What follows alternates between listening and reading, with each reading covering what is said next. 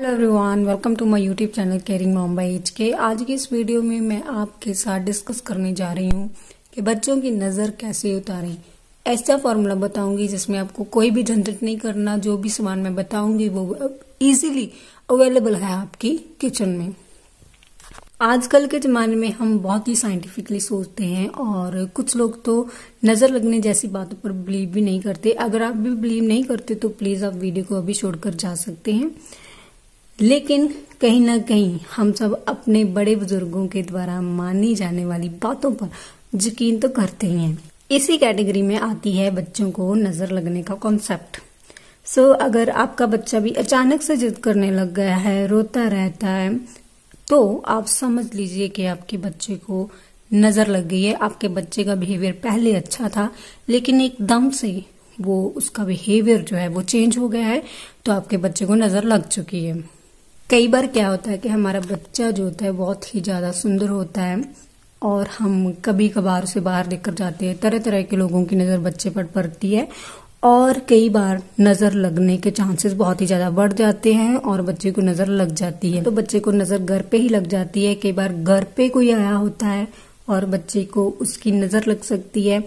वैसे तो ये भी धारणा है कि नज़र बच्चे को माता या पिता की भी लग जाती है। इसलिए माँ को बच्चे के मुँह को ज़्यादातर देखने से मना किया जाता है। मेरी माँ भी मुझे अपने बच्चे के फेस को ज़्यादातर देखने से बहुत ही ज़्यादा मना करती थी।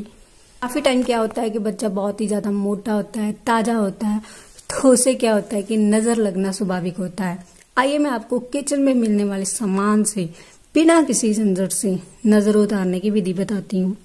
क्या लेना है हमने किचन से? नमक साल्ट जो हम सब्ज़ी में डालते हैं, वही सिंपल साल्ट उसे क्या करना है कि हमने मुट्ठी भरकर नमक की बच्चे के सर के अराउंड सात बार घुमानी है। फिर से बता रही हूँ कि नमक की मुट्ठी भर के बच्चे के सर के अराउंड सात बार घुमानी है और डायरेक्शन लेफ़्ट टू राइट होनी चाहिए। बाद में क्या करना है कि नमक को चलते पानी में फेंक दीजिए।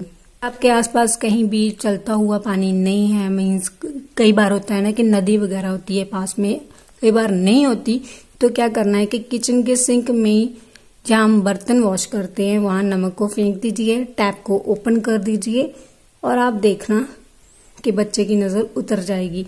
जैसा अच्छा है, मैं अपने बच्चे के साथ ऐसा ही करती हूँ। मैंने कभी कोई बहुत बड़े झंझट नहीं किए हैं।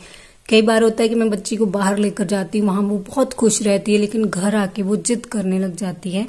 तो जब मैं ऐसा करती हूँ तो उसके जो बिहेवियर में है, बहुत ही ज़्यादा चेंज आ जाती है।